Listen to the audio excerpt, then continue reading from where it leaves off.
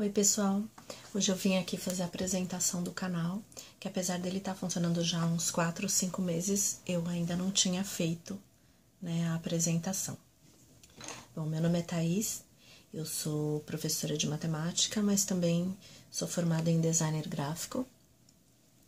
É, eu faço scrap já há bastante tempo, desde. Deixa eu ver. Scrap com fotografia mesmo eu faço desde 99, 2000 por aí, né? Mas eu já já fazia algumas coisas de artesanato desde a época da adolescência, né? É, por que, que eu vim fazer a apresentação hoje? Primeiro, porque não tinha mesmo a apresentação do canal. E segundo, porque é, o perfil do, do, das pessoas que me assistem mudou um pouquinho. Então, a princípio, a minha ideia foi. Eu tô olhando para baixo porque eu tô fazendo uma colinha, tá? É, a princípio, a minha, a minha ideia de, de montar o canal foi por sugestão de uma amiga minha, né, a Débora da Escripando. É, ela que a gente sempre trocava ideia tal, e eu sempre mandava para ela, antes de postar em rede social algum trabalho meu, eu postava para ela, né? A gente trocava algumas ideias e tal. E ela já tinha o canal dela. Aí ela sugeriu por que, que eu não, não fazia um canal também, né? Para ficar mais fácil, pra gente filmar o que uma faz, o que outra faz e, e, e trocar ideias mesmo. Então, a princípio, o meu, o meu projeto, né, pro, pro canal era esse, meu plano pro canal era esse. Até porque eu sempre fui de assistir muitos vídeos, muitos vídeos antes de criar. Eu gosto para dar ideias novas, para aprender também, né? É, no curso de designer, uma coisa que eu aprendi foi que todo artista, né, todo artesão, todo artista, ele sempre procura uma referência para poder trabalhar. E nem que, se, nem que essa, essa referência seja uma fotografia, um desenho, um vídeo, uma foto, uma imagem, qualquer coisa que, que, que sirva mesmo para dar ideia, né? Então, eu vou dar um exemplo. Quando eu estava fazendo o curso, eu lembro que eu tinha que fazer um projeto e e eu tinha que desenhar um personagem sentadinho de costas e descalço. Então eu tinha que desenhar o pezinho dele curvadinho assim para trás.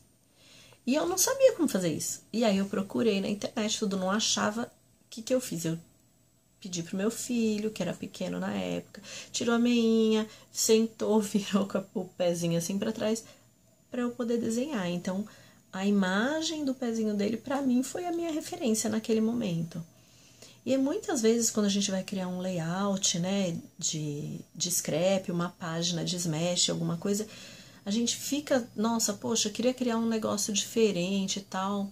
Se você pega um vídeo para ver, dois, três, você vai tendo outros horizontes, né, outras ideias. Não que você vá copiar, né, de, de outras pessoas, mas você vai ter novas ideias né? E, e isso acaba ajudando também, contribuindo para acrescentar, para melhorar seu trabalho. Então foi aí que eu, que eu resolvi mesmo é, montar o canal. Nunca foi com o intuito de ensinar nada, porque quem sou eu para ensinar scrapbook, né? É, a minha ideia mesmo era essa, né? Só trocar referências, ser mais um canal para apoio, para quem gosta de, desse tipo de, de vídeo.